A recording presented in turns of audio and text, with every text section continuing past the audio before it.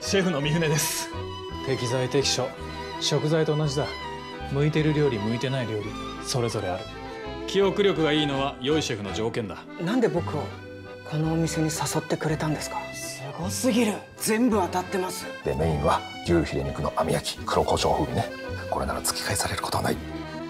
私はただのワイン好きパマルの新しい新人さん？三船さんいらっしゃいます？ちょっといいですか？少し思ったんですけど。